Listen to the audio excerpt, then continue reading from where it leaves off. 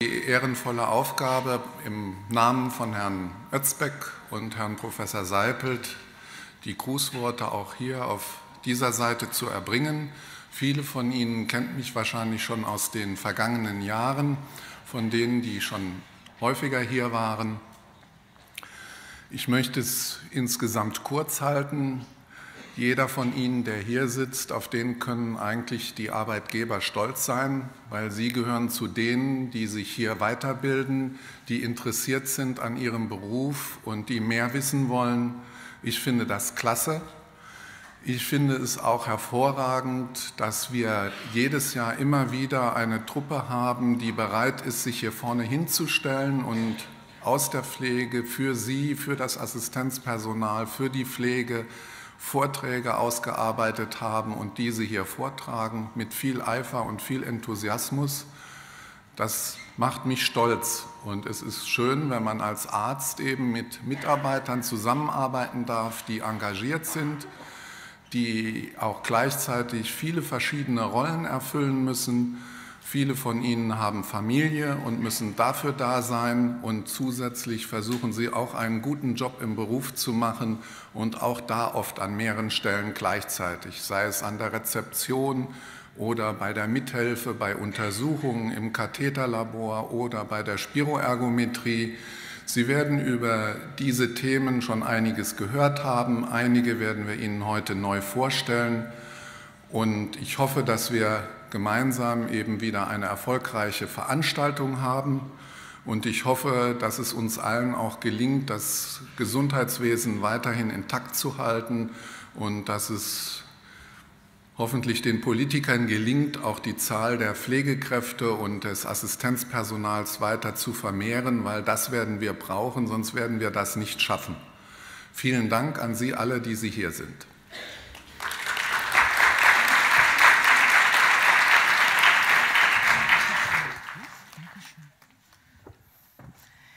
Ja, guten Morgen. Auch ich begrüße Sie recht herzlich zu unserem nun mal, ich glaube, 18. Herz im Fokus von der Pflege für die Pflege. Ja, mir geht die Stimme wie jedes Jahr am Anfang immer ein bisschen weg, ist okay. Herr Dr. Jochum, vielen herzlichen Dank für die einleitenden Worte.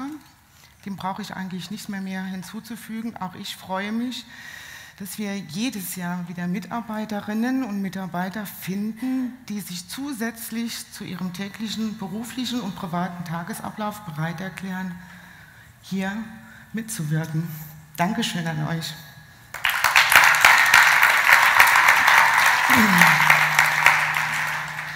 Ich möchte mich im Besonderen auch bei unseren beiden Chefärzten bedanken, die ohne die diese Veranstaltung nicht laufen würde, weil die Ärzte ja, implementieren die Industrieausstellung und über die werden wir gesponsert und so dürfen wir halt auch Sie einladen, an solch einem Symposium teilzunehmen. Ich möchte jetzt nicht noch viele große Worte machen. Lassen Sie uns mit dem Tagesablauf beginnen. Bevor wir einsteigen, noch eine kleine Erinnerung oder überhaupt eine Erinnerung. Wir haben im zweiten Teil unserer Veranstaltung das Thema Patientenverfügung. Wir haben uns überlegt, dass es viel mehr Sinn macht, dass Sie uns Ihre Fragen notieren. Am Ende des Saales zwischen beiden Ausgängen steht eine Pinnwand, davor steht ein Tisch mit Fragekarten oder mit Karten, auf denen Sie bitte Ihre Frage notieren. Das machen Sie am geschicktesten zu Beginn der Pause. Wir werden so in der Hälfte der Pause, die Claudia und ich, diese Karten einsammeln und einfach mal gucken, was so an Fragen kommt und dann selektieren. Es wäre nett, wenn Sie uns damit Fragen zur Seite stehen, damit wir sie ein bisschen einfacher haben. So, Pause wird sein, so gegen 11 Uhr, eine Dreiviertelstunde bis zu 11.45 Uhr und dann werden wir in den zweiten Teil unserer Veranstaltung starten. Starten gibt mir das gleiche Stichwort, ich darf Frau Nicole Agün auf die Bühne bitten. Frau Agün oder Nicole wird uns in die Thematik der Spiroergometrie einweihen. Ein sehr interessantes Thema, auch für mich war es ganz neu. Und lassen Sie sich überraschen. Vielen Dank. Viel Spaß.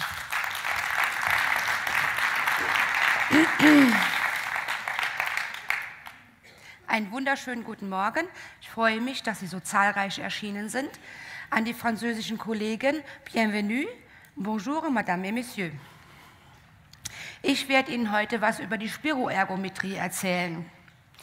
Allez le Pleu, eine Hommage an die Franzosen unter uns.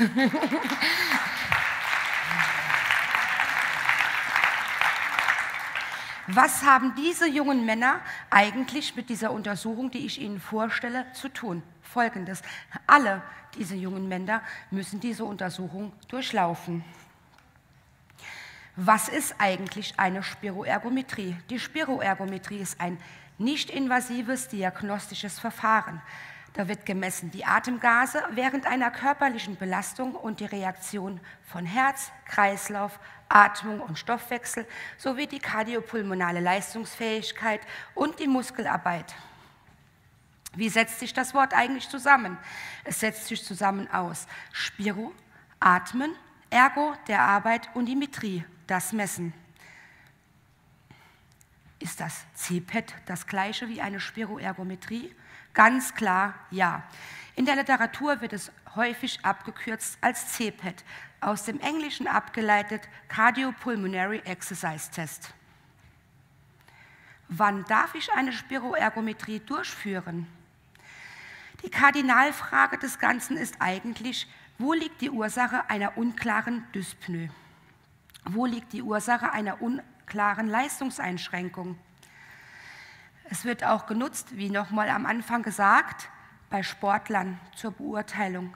Demaskierung bei Patienten, die mangelnde Kooperationsbereitschaft zeigen. Es kommt, kommen Patienten ins Haus, die sagen, ich habe immer Beschwerden, keiner kann mir helfen, ich weiß nicht, woher sie kommen. Kommen sie vom Herz, kommen sie von der Lunge oder haben sie eine andere Ursache? Die Spiroergometrie ist auch die Therapiekontrolle bei einer chronisch obstruktiven Lungenerkrankung. Die Spiroergometrie findet auch Anwendung in der Arbeitsmedizin, in der Prävention und in der Beratung und auch beim Fettstoffwechsel, bei Diabetes oder auch Adipositas. Die kardiologischen Indikationen. Wir hier bei Herz im Fokus fokussieren uns auf die kardiologischen Ursachen. Die eingeschränkte linksventrikuläre Funktion ist die erste Indikation. Angeborene Herzfehler ist eine Indikation. Die KHK, chronische Herzinsuffizienz oder auch die Frage nach einer kardiologischen Belastbarkeit. Will ich eine Belastungsdyspnoe differenzieren, wie eben schon erwähnt, kann ich mir eine Spiroergometrie zu Hilfe nehmen. Die Herz-Thorax-Chirurgen machen sich es zunutze, einfach um postoperative, perioperative oder präoperative Risiko, Risiken einzuschätzen vor einer Lungentransplantation oder auch vor einer Herztransplantation. Welche Spiroergometriearten gibt es eigentlich?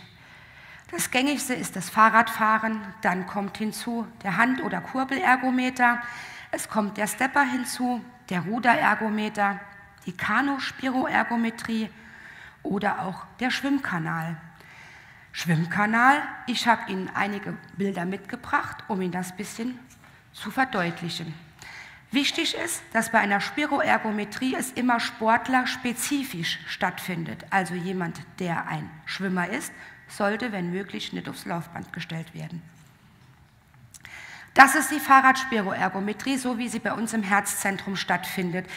Ähm, sie sehen hier die ähm, EKG Ableitungen, ganz normal, wie Sie es in der Praxis auch machen. Wir haben uns zur Hilfe gemacht, dass bei Oberkörper- und Unterkörperbewegungen die Extremitätenableitungen stark verwackelt sind. Wir kleben sie auf den Rücken. Sie sehen auch hier die Maske, die würde ich Ihnen nachher noch mal ein bisschen näher vorstellen. Der Fixierungsgurt der Maske. Hier vorne liegt die Turbine und das Messgerät. Die Turbine misst durch einen ähm, Drehventilator die Ein- und Ausatmung. Dadurch wird es durch den Computer errechnet. Was gibt es dann noch? Der Kurbelergometer. Patienten, die nicht mobil sind, nicht Fahrrad fahren können oder denen sonst irgendwas im Wege steht, denen haben wir die Möglichkeit eingeräumt, ähm, mithilfe der Entwicklung einen Kurbelergometer zu benutzen. Die Patienten sitzen im Rollstuhl und kurbeln mit der Hand. Spitzensport. Hier haben wir es die Ruderspiroergometrie. Die junge Dame hat den Rudersport für sich entdeckt und weil sie zum Leistungssport gehört, absolviert sie eine Spiroergometrie. dass man sich mal so ein bisschen vorstellen kann, welche Möglichkeiten es gibt. Die Laufbandspiroergometrie wird neben der Fahrradspiroergometrie wohl das gängigste sein, was Sie kennen. Und last but not least ein Highlight, die Schwimmspiroergometrie. Sieht ein bisschen aus wie im Science-Fiction-Film, ist es aber eigentlich nicht. Der junge Mann hier hat die Aufgabe, Gerätschaft, Messgeräte und das, das Kabel am Patient oder am Probanden festgemacht am Schwimmbadrand mitzuführen. Somit wird das möglich, dass der Schwimmer während dem Schwimmen im Prinzip seine Atmung messen kann, beziehungsweise Jo, es kann gemessen werden. Damit das noch mal ein bisschen deutlicher wird, habe ich noch ein Bild mitgebracht. Da wird es vielleicht ein bisschen deutlicher. Und zwar hier die Schwimmspiroergometrie. Oben im Prinzip, oh Entschuldigung, oben im Prinzip wie ähm, beim Schnorchel wird befestigt, wie bei der Maske auch, die Messturbine. Und das Kabel ist nochmal an diesem langen Stab, mit dem der ähm, Assistent am Schwimmbadbecken vorbeigeht. Ist nicht so ganz gängig und auch nicht so ganz bekannt, deswegen habe ich Ihnen die Bilder einfach mal mitgebracht, damit man sich da einfach ein Bild davon machen kann. Wann darf ich eine Spiroergometrie nicht durchführen? Eigentlich gelten die gleichen Kontraindikationen wie bei der Ergometrie. Das sind unkontrollierte Arrhythmien, AV-Blockierungen, insbesondere 2 und 3, der frische Myokardinfarkt, die dekompensierte Herzinsuffizienz. Die Patienten bekommen eh sehr schlecht Luft, haben eventuell dicke Beine, können schlecht Fahrrad fahren. Darunter gilt auch alle entzündlichen Erkrankungen des Herzens, die Perikarditis, die Myokarditis und auch die Endokarditis. Wann darf ich noch nicht eine Spiroergometrie machen? Bei einer frischen Thrombose, wenn Patienten schon eine Ruhehypoxämie haben, bei einer Pneumonie, jetzt akut die Grippewelle, akute Infekte, Fieber oder ein Asthma bronchiale ohne Therapie. Wo sind Kontraindikationen, die ich eventuell abwägen muss? Der Myokardinfarkt. Da steht es dem Untersucher immer frei zu sagen, mache ich oder mache ich nicht. Es gibt in der Literatur kennwirkliche ähm, Aussagen, in welchem Zeitraum danach Spiroergometrie wieder erfolgen kann. Dann bei uns im Krankenhaus ganz oft, die Patienten sind interveniert, haben eine Leistenpunktion. Da sollte man auch eine gewisse Zeit warten, bis die Leiste sich erholt hat. Tachykardien. Bei 100 bis 120 Schlägen pro Minute in Ruhe sollte der Patient nicht belastet werden. Die pulmonale Hypertonie stellt auch eine Kontraindikation dar. Die Karotisstenosen, die zerebrale Durchblutungsstörung, da muss der auch der Arzt abwägen, mache ich es oder mache ich es nicht. Bei der schlecht eingestellten Epilepsie birgt es immer die Gefahr, dass es in der Spiroergometrie zu der zu einem Anfall kommt, durch den Stress, dem ich den Patient aussetze, wenn er schlecht eingestellt ist mit Medikamenten, kann es sein, dass er einen Anfall bekommt. Dann die HOCM, die angeborene oder nicht angeborene Verdickung der Herzmuskeln. Da sollte man auch nochmal unterscheiden, mache ich es oder mache ich es nicht. Wie bei allem ist das irgendwann mal entstanden. Das will ich Ihnen ganz kurz erklären, kurz, weil der Exkurs in die Vergangenheit der zeitliche Rahmen unserer Vorträge sprengen würde.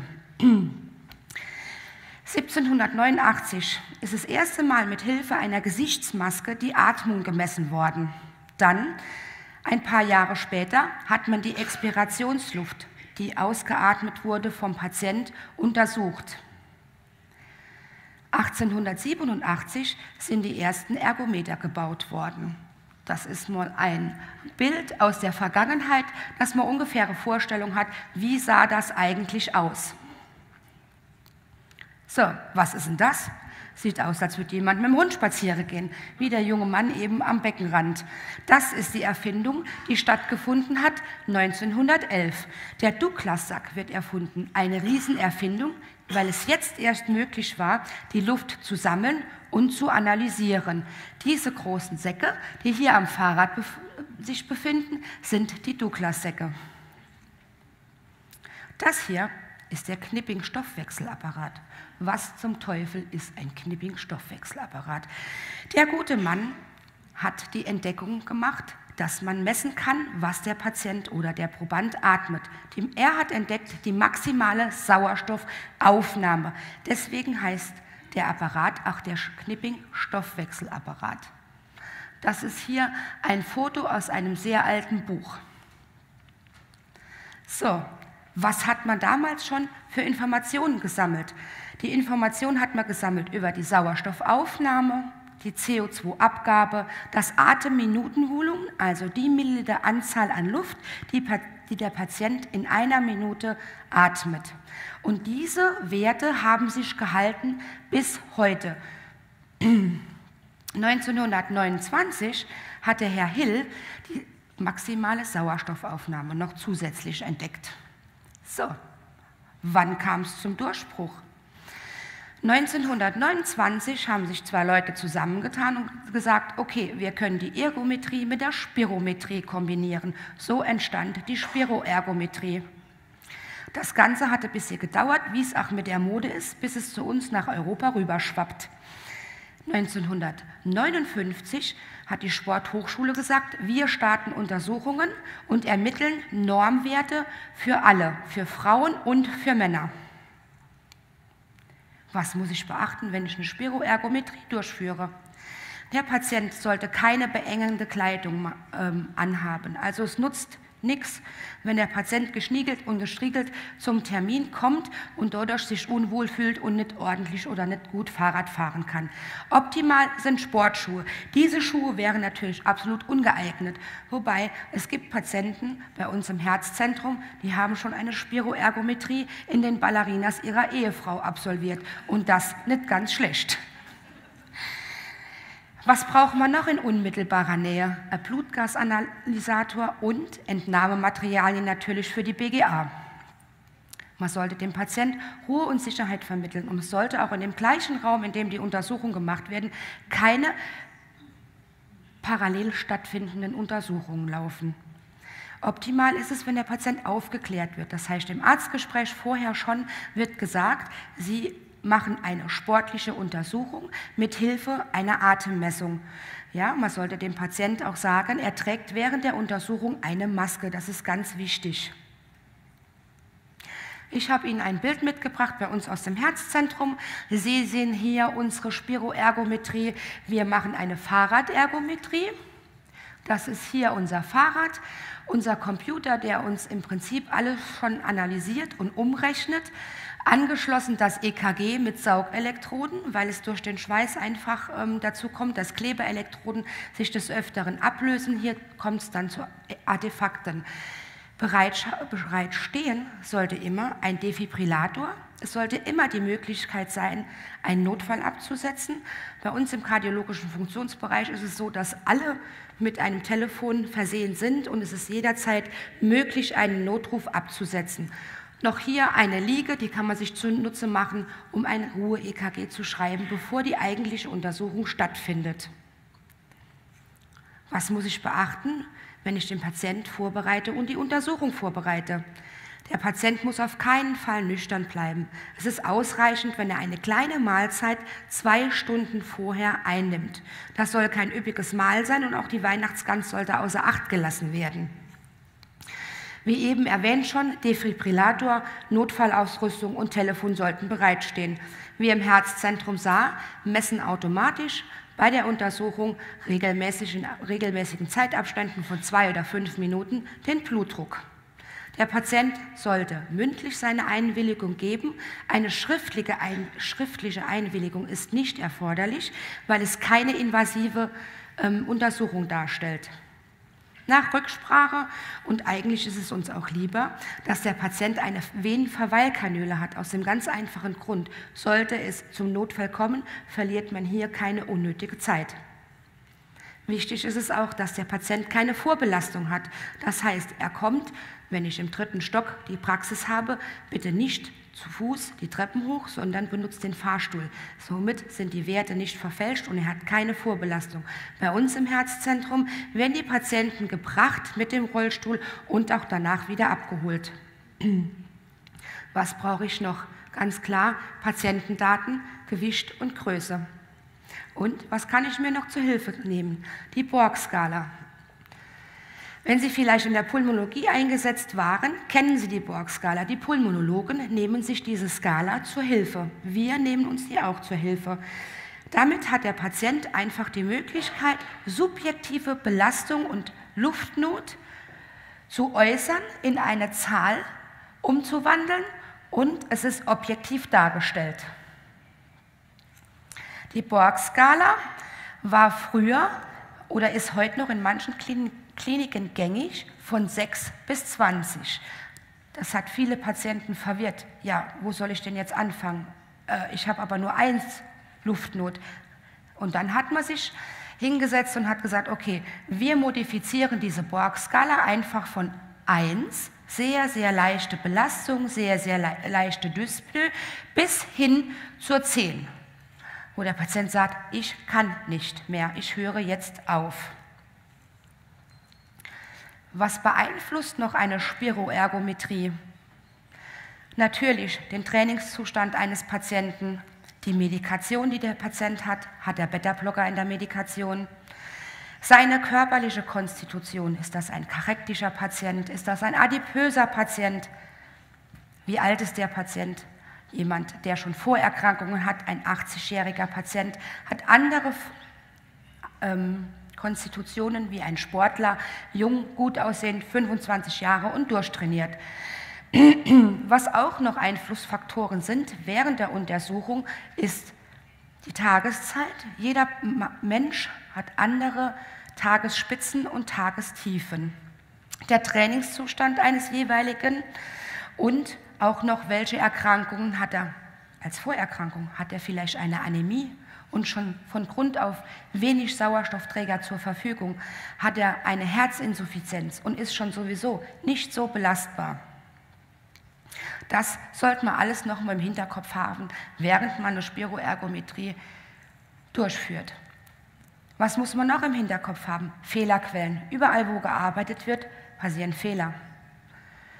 Patienten, die in Maske aufkriegen, haben häufig emotionalen Stress. Wie entsteht der Stress? Die haben eine Maske auf, vorne ist ein Sensor, das komplette System ist dicht. Die hyperventilieren. Ich kriege keine Luft. Das ist eine objektive Empfindung. Das aber wiederum führt zur Hyperventilation und ist eine Fehlerquelle. Dann kann ich vergessen, bei der forcierten Spirometrie die Nasenklemme aufzusetzen. Passiert.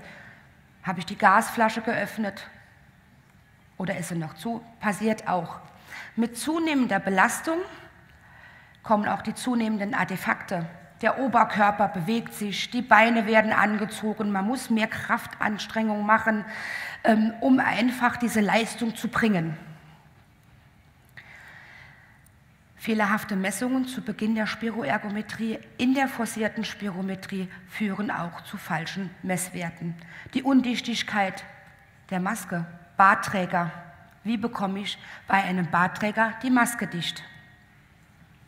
Man muss dem Patient auch sagen, wie ist es, wenn er die Maske aufhat? Er kann nicht mehr sprechen und sagen, oh, ich möchte jetzt aber aufhören. Das verfälscht uns auch die Werte.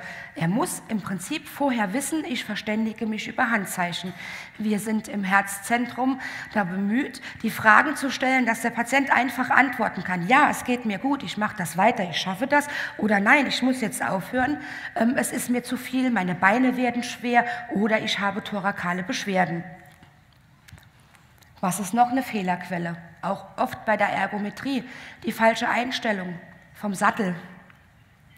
Wir nehmen im Herzzentrum den Beckenknochen als Anhaltspunkt. Der ist bei mir vielleicht jetzt schwächer zu erkennen als bei manch anderem, aber Sie nehmen den ja, und machen die Höhe des Sattels in Höhe des Beckenknochens. Und so haben Sie einen Anhaltspunkt, wie hoch der Sattel eingestellt werden soll.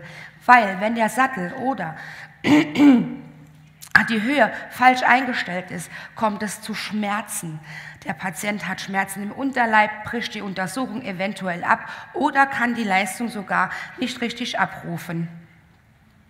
Der Sattel sollte auch, können Sie auch die Tipps für zu Hause nutzen, waagerecht ausgerichtet sein. Er soll nicht nach vorne gekippt sein und er soll auch nicht nach hinten gekippt sein. Wie gesagt, das führt zu Unterleibsschmerzen und halt auch zum eventuellen Abbruch. Es gibt die Fersenmethode, mit der man eigentlich messen kann, sitzt der Patient richtig auf dem Fahrrad. Ich habe Ihnen ein Bild mitgebracht. Bei maximaler Streckung des Beins zeigt die Ferse nach unten. Somit ist die Kraftübertragung am Rad somit am größten. Das Bein ist durchgestreckt, wie Sie sehen. Die Ferse zeigt nach unten, aber nicht ganz nach unten. So, hier noch ähm, ein Bild. Wie sieht es aus, wenn der Patient auf dem Fahrrad sitzt? Dann haben wir hier bei der maximalen Ausstreckung ungefähr 150 Grad. Sie brauchen nicht mit dem Geodreieck nebendran zu stehen und zu messen, aber Sie werden es mit der Erfahrung sehen. Und bei maximaler Anziehung des Knies sind es ungefähr 65 Grad.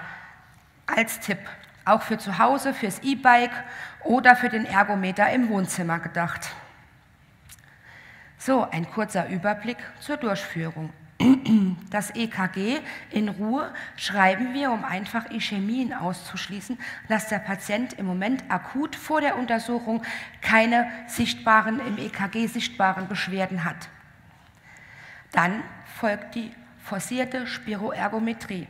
Schwierig für die Patienten ist es, das Mundstück, das ich Ihnen hier fotografiert habe, mit dem Mund komplett zu umschließen und dabei auch noch die Zunge unter dieses breite Stück zu legen. Gut ist es für die Patienten, wenn Sie ihm das Mundstück einfach mal geben, lassen es ihn mal anziehen und einfach sich ein paar Sekunden dran gewöhnen. Dann erst würde ich das Mundstück nochmal rausnehmen, würde dem Patienten erklären, wie die Atemkommandos jetzt erfolgen und dann nochmal das Mundstück anziehen. Der Patient muss atmen in Ruhe, er muss tief einatmen und er muss einmal maximal ausatmen. Das sind so Geräusche, die man aus der Praxis oder aus der ähm, Endoskopie in der LUFO kennt, wenn die Pflegekräfte den Patient anfeuern und sagen, noch, noch, noch, noch, noch, noch, noch, noch, noch, damit alle Luft wirklich der Lunge entweicht. Wie kann man eine Maske richtig anpassen? Sie nehmen im Prinzip den Finger auf die Nase und den Daumen unten ans Kinn und haben einen ungefähren Anhaltspunkt, welche Maske Sie nehmen. Wir im Herzzentrum bevorraten Masken in Größe XS, S, L und M. Genau. Ähm, es ist aus wirtschaftlicher Sicht so, dass wir lange Zeit von Hand aufbereitet haben, desinfiziert haben, Lösungen angesetzt haben, ausgeweicht haben und trocknen lassen. Aber der personelle Zeitaufwand steht höher als der Kostenfaktor für eine Einmalmaske. Somit sind wir umgestiegen auf eine Einmalmaske. Nichtsdestotrotz habe ich Ihnen Masken mitgebracht. Sie können sich die nachher in der Pause gern mal aufsetzen, mal fühlen, wie fühlt sich das an, wie ist es, wenn ich die Hand vorhalte und es kommt keine Luft mehr. Was hat denn der jetzt mit meinem Vortrag zu tun?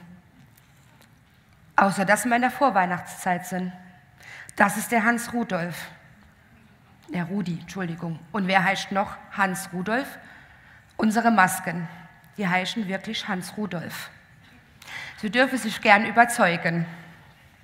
Ich habe Ihnen hier Fotos mitgebracht, damit Sie einfach mal sehen, aber auch die Veranschaulichung hier vorne. Ne? Das sind diese ähm, wiederaufbereiteten Masken, die man äh, mehrmals verwenden kann. Äh, wir verwenden die nur zum Anprobieren der Masken, weil diese Einmalmasken genau die gleichen Größe haben wie diese wiederverwendbare, wiederverwendbaren Masken. Wer darf denn sowas eigentlich machen? Wer darf Spiroergometrie betreuen? Ich denke, Sie alle dürfen das hier. Fachmedizinische Angestellte, Krankenschwester und Krankenpfleger und natürlich auch Gesundheits- und Krankenpfleger. Die Durchführung hat ein Arzt. Im kardiologischen Funktionsbereich im Herzzentrum Saar haben alle Mitarbeiter eine spezielle Untersuchung genossen. Und Voraussetzung ist, dass man so eine Untersuchung machen darf und auch assistieren darf, dass man eine Einweisung hat, eine technische Einweisung. Die muss natürlich wie alles andere in unserem Leben dokumentiert werden und wird festgehalten in Paragraph 5 Absatz 3. Das ist die Einweisungsdokumentation. Früher gab es kleine Pässe, heute gibt es dafür die Software, bei der man das hinterlegen kann. Es kann auch in der Personalakte hinterlegt werden, ist kein Problem. So, zum Knackpunkt des Ganzen. Was sagt die Gebührenordnung? In eine in der Praxis durchgeführte Spirometrie kostet zwischen 40 und 162 Euro. Wenn die Berufsgenossenschaft es für eine arbeitsmedizinische Untersuchung durchführt, kann man 123 Euro abrechnen. Wir in der Klinik bekommen eine Grundpauschale und einen Zusatz für eine erbrachte Leistung. Somit ist der Gesamtbetrag, Entschuldigung, um die 50 Euro. Das deckt nicht im geringsten die Kosten, die wir haben für die Geräte, die wir angeschafft haben, für die Materialien und für den personellen Einsatz. Nichtsdestotrotz führen wir es durch, weil die Spiroergometrie halt ganz, ganz viele Fragestellungen beantworten kann. Wer darf zuweisen? Alle niedergelassenen Kardiologen dürfen zuweisen. Wir im Herzzentrum Saar haben einen ermächtigten Arzt, der ambulante Spiroergometrien durchführen kann. Das ist unser Herr Dr. Bastian, er ist Oberarzt bei uns im Herzzentrum. Für Fragen zu den Zuweisern, für die Einweisung oder die Untersuchung selbst stehen wir Ihnen natürlich gerne mit Rat und Tat zur Verfügung. Nochmal, welche Werte werden eigentlich gemessen? Das Atemminutenvolumen, die Sauerstoffaufnahme, die Kohlendioxidabgabe, die geleistete Muskelarbeit, die wiederum wird in Watt gemessen. Wir messen die Blutgase, wir messen Puls und Blutdruck und wir messen die Sauerstoffsättigung. Wann spreche ich eigentlich ab? Wann sage ich, okay, halt, hier sind wir an dem Punkt, da geht es dem Patienten nicht mehr gut, ähm, ich sehe es im EKG oder der Patient sagt auch selber, es geht ihm nicht gut. Allgemeine Ischämiezeichen, insbesondere die ST-Streckensenkung, Angina pectoris-Beschwerden des Patienten, die Zyanose, die vielleicht während der Untersuchung auch immer mehr sichtbar wird, Rhythmusstörungen sichtbar im EKG oder die Sättigung fällt unter 80 Prozent. Der Patient äußert, mir ist schwindlig oder man merkt, er hat Gleichgewichtsstörungen. Er signalisiert, meine Beine werden schwer, ich kann jetzt nicht mehr weitertreten, ich bin muskulär erschöpft. Oder es ist sichtbar, dass der Blutdruck vom Ausgangswert 20 Prozent abfällt. Dann ist es auch eine Indikation, die Spiroergometrie zu beenden. Eine andere Abbruch, ein anderes Abbruchkriterium ist der fehlende Anstieg des Blutdrucks über zwei Belastungsstufen während der Spiroergometrie. Oder man sieht, oh, der Patient wird jetzt kaltschweißig, der schwitzt nicht nur wegen Erschöpfung, sondern weil er einfach jetzt zentralisiert und es geht ihm nicht gut. Das ist auch ein Kriterium, um die Spiroergometrie abzubrechen. Vielen Dank für Ihre Aufmerksamkeit. Ich wünsche Ihnen noch eine schöne vorweihnachtliche, besinnliche Zeit ohne Stress.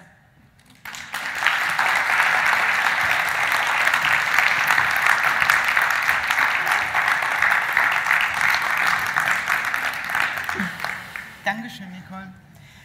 Das war sehr, sehr, sehr interessant. Also auch ich habe im Vorfeld dieser Vorbereitung ganz viel gelernt. Ich habe auch viel nachgefragt und ich hoffe und ich schätze und ich glaube, dass wirklich Fragen noch kommen werden. Gibt es Fragen? Wirklich keine. Niemand.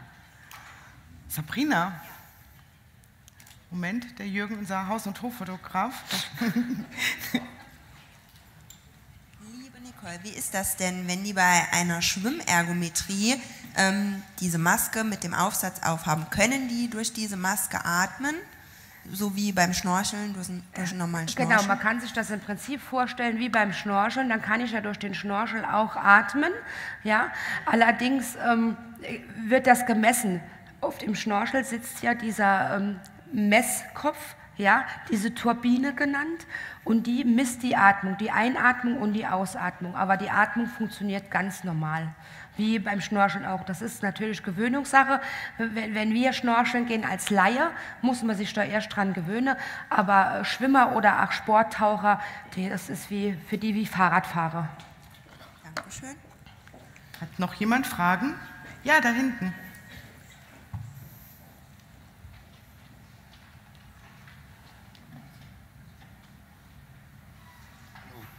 Hallo?